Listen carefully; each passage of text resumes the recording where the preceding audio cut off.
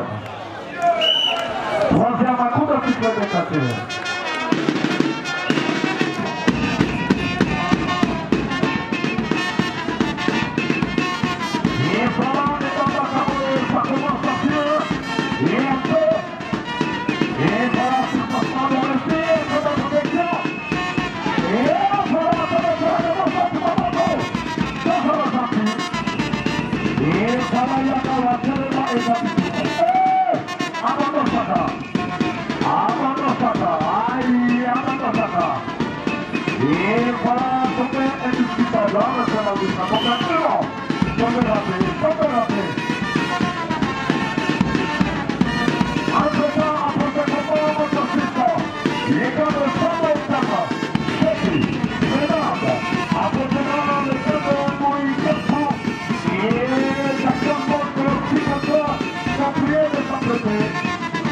combat, Et pour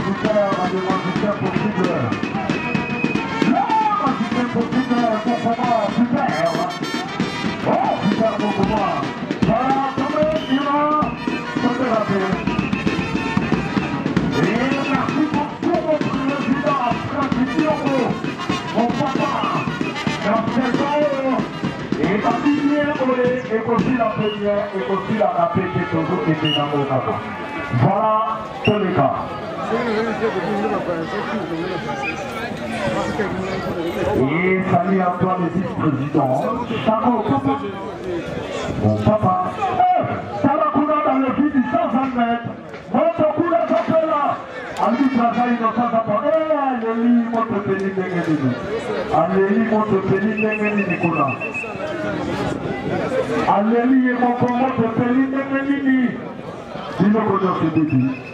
que de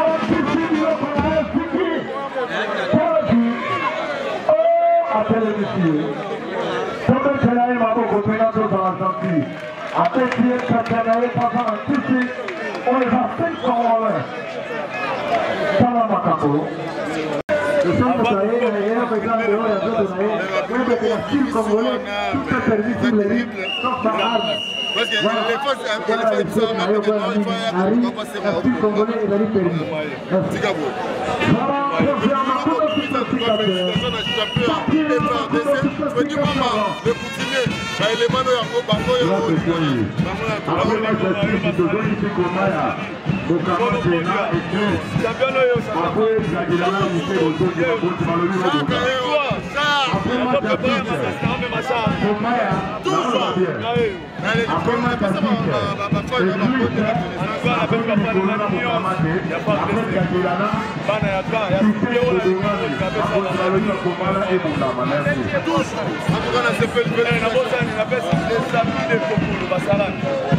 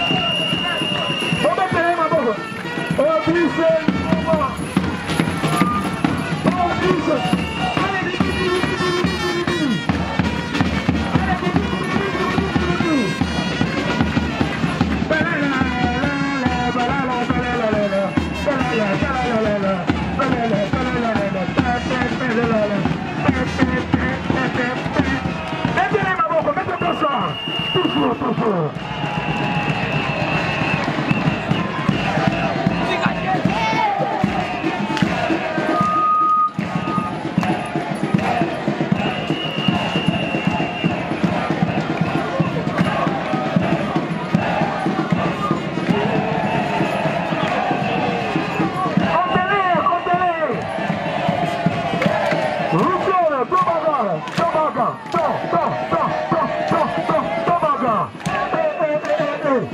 Kotele papa, tangela eh. Ah papa Fontiongo, makole sako. Tala makamu yozongi seli biso. Ah de kisangani, zombie de kisangani. Zombie de kisangani.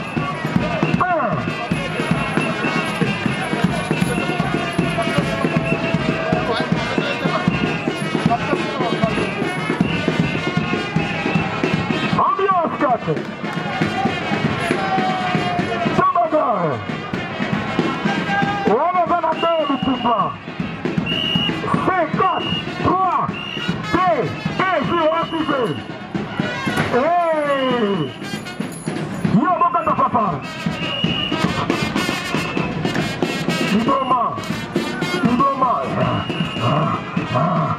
ah. Ficamos aqui, aquele monte de pessoas. Ah a la presença de a Kankou, hein, hein, hein, à la présence de président Pimapouya, qui va me sentir dans quel vent vai me sens.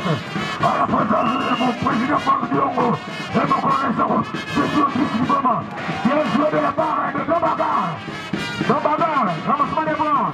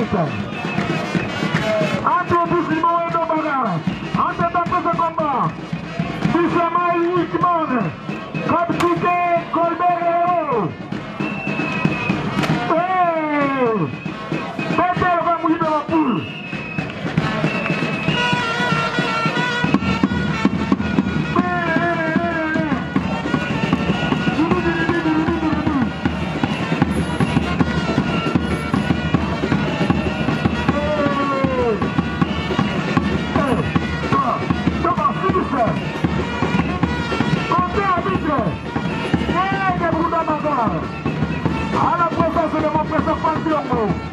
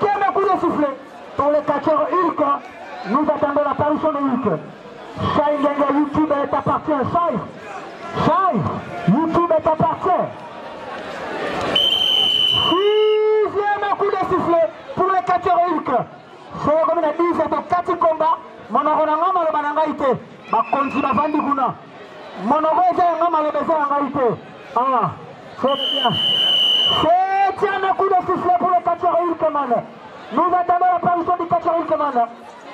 Il demande. Manifeste-toi. Où es-tu Où es-tu Il demande. Il demande où es-tu Oh Mardo, Mardo. Mardo, Mardo.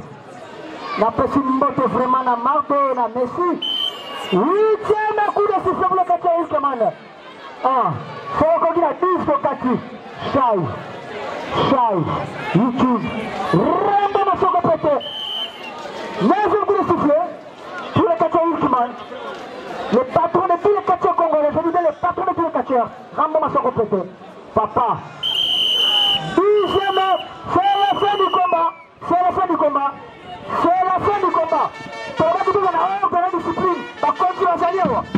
Et comme il y a 10 pour Kati, la confédération va s'allier, la bibliothèque qui va s'allier. Comment c'est lui crianças. Papai não tá cheio. Vai lá. Lolo! Aê, aê. Olha o grupo que é. Não vou guardar.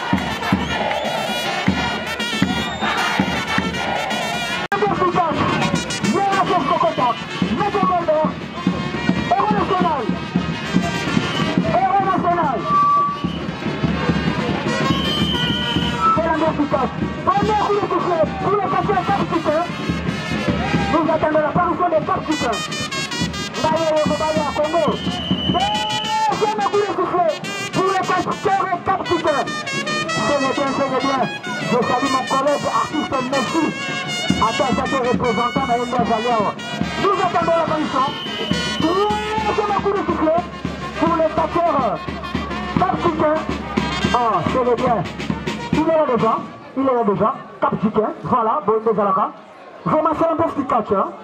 Será minha fitacha? Zato. É, eh, será para isso né, ele caché? Ele vai se reunir, se calma. Ei.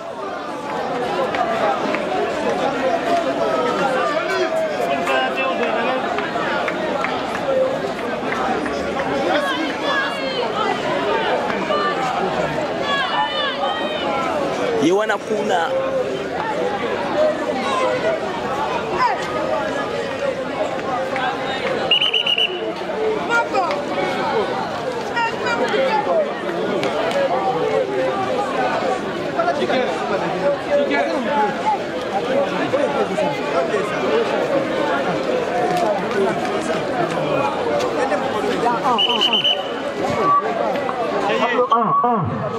voilà yo ya yo sembali bobo yala papier wana joni chezo na papier wana voilà ngana papier wana rapide kuna le combat pendant 90 minutes sans réponse style congolais et style classique mama nanga tala botala combat oyo bakonzi bafandi botala beta bikumbiku beta mutu kulemba te ainsi que kaptike e golba héro national wana mutu mabe frappe abetaka mabe apieta apwese bomba zombi ya bebe malema prépare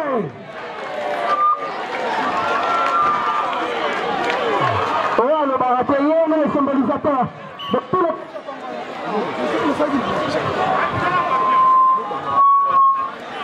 nzambe kuna bakonzi balobi boganga te bazobongisa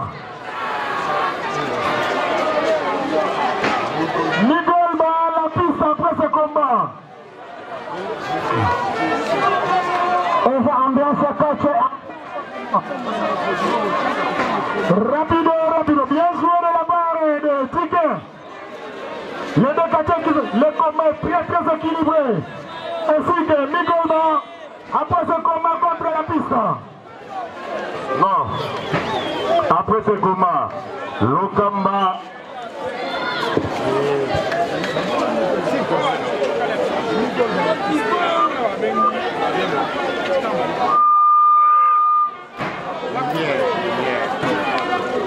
Lokamba est presque sirène.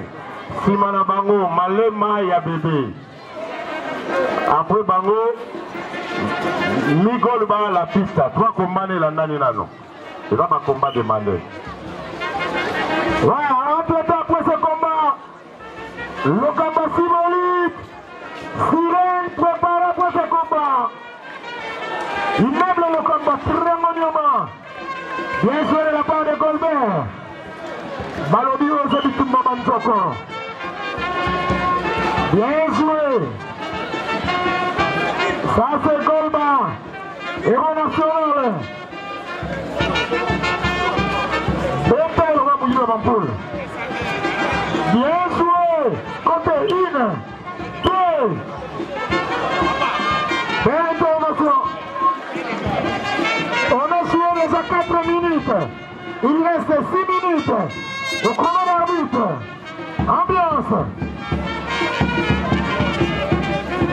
Le maintenant si tokoboye obetela gole na maboko beteli maboko ebolosona te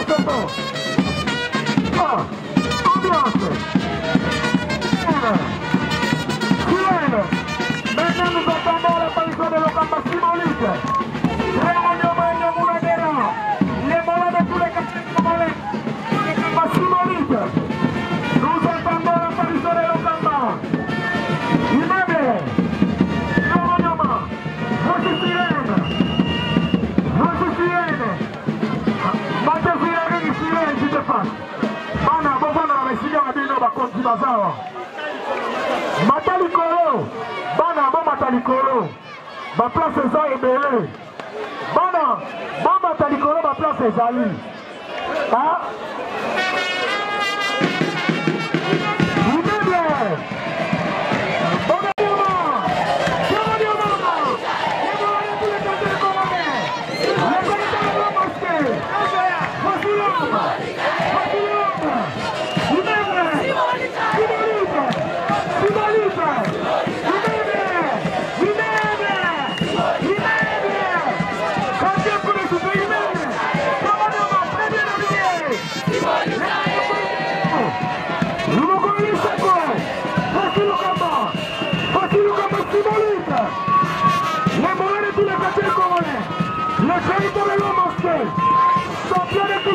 souffle Sixième coup de souffle Sixième coup de souffle pour Lokamba Voici Lokamba sous la lutte Le véritable l'homme masqué Préonioma Niamounagea À la présence de Sami Degusalani Degusalani, c'est qui C'est lui-même Mon président Pandiongo Mon colonel Sabo le vice-président Voici Lokamba Lokamba Sibolite C'est l'apparition des deux et des sur Ainsi que le combat symbolique et Sirène. Entre-temps, après ce combat, Migolba s'appuie de se préparer contre la piste. C'est que Malema, Zombie à bébé après ce combat. Présentation en première position, nous retrouvons les catcheurs. Sirène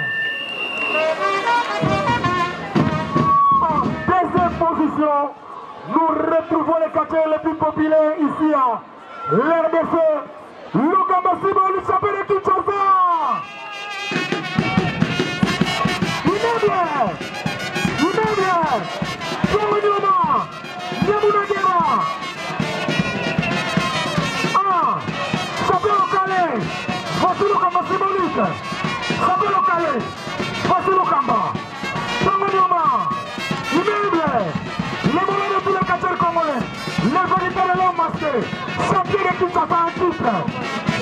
Après ce combat, chez Sac Malema, Samia Bébé, le combat est proclamé 10 minutes sans réponse style congolais, chrono en marche. 5, 4, 3, 2, 1, 0. Activez le fil classique. Ambiance. Samboli Bobo, Libo, Sambo. Tango Dioma. Tango Dioma. Meble! Czoko! Czoko! Czoko! Wasilon! Wasilon tych Waleńskich! Okat w komole! I meble! I meble! Ambiance! Wasilon w komole!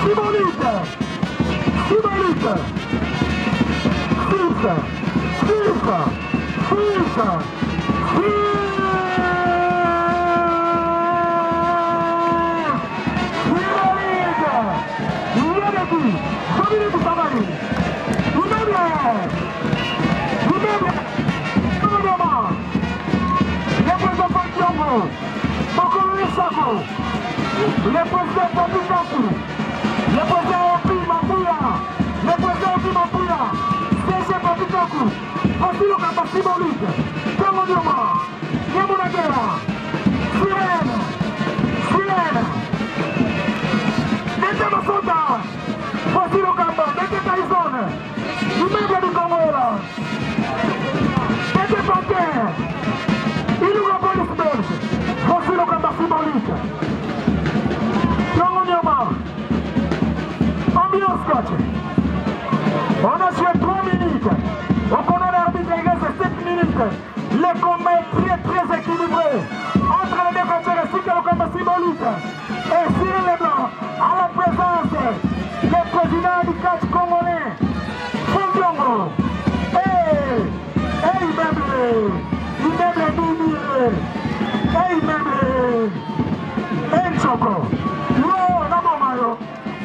yo eye beta yo kabuyibla mapule olukaka kobunda lelo liboso frank diongo obundaka okobunda we makolonel sako mokonzi toujours komati ne jamais abati toza na bango tilifobo ah. Allez, ma, tu observes en bas, transport. kobebisa te masina likoya te eyebi mwasi na yo